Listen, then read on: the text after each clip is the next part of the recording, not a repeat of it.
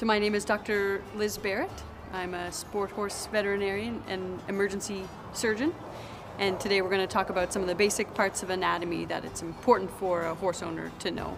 So starting with the head of the horse, kind of the more important parts that we often talk about, you hear people talk about would be the poll, which is the area between the ears at the top of their head. Uh, that's really important when you're talking about how a bridle fits or when you're when you're placing a halter. And then obviously down on their muzzle, um, which is the area kind of where their lips contained. Um, that's how they grasp their food um, and get it up into their mouth. Obviously, their nostrils are there. That's how they, they smell. They have a spine. Horses have a spine just like we do, and the cervical spine is the part that connects their head back to the rest of their body. Continuing back from there, the, the spine continues as the thoracic spine. Um, that's what connects to all of the ribs, which function to help protect your horse's internal organs. So, kind of in this area, you have their heart and their lungs that lie underneath their ribs. And behind that, you have their liver and their other uh, intestinal organs in there. Behind that thoracic spine, you have the lumbar spine, which is which is similar to us. That connects to the sacrum.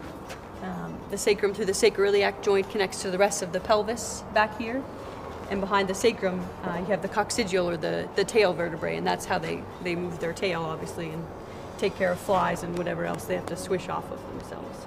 So they have a scapula just like we do that connects to their, their shoulder joint. That connects to the humerus.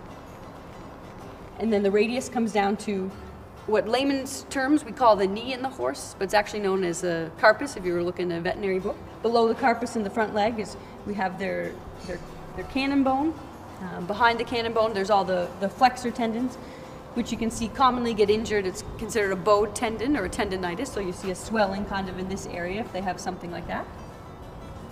The cannon bone connects to the, the fetlock joint. And the pastern bones, there's actually two bones down in the pastern.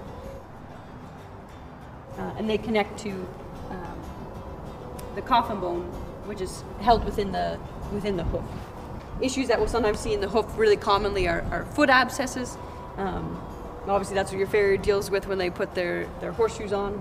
When you move to their to their hind end, uh, which is you can see is big and muscular, that's kind of the powerhouse for the horse. Um, the majority of their weight is actually supported and held up by their front end. They carry 70% of their weight there, and the hind end just kind of pushes those front legs along. So just like this, they have a they have a hip joint here as well and a femur that connects to the stifle joint, which is just like our knee joint. They have a, a patella there. Occasionally, we'll see horses that get a get a locking patella or upward fixation of the patella, and it kind of catches when they try to move it. Then they have their, their tibia, which is actually known as the gaskin, uh, as a as a layman's term, and comes down to their hock, um, which is the main main joint that helps them flex their their limb in the hind leg.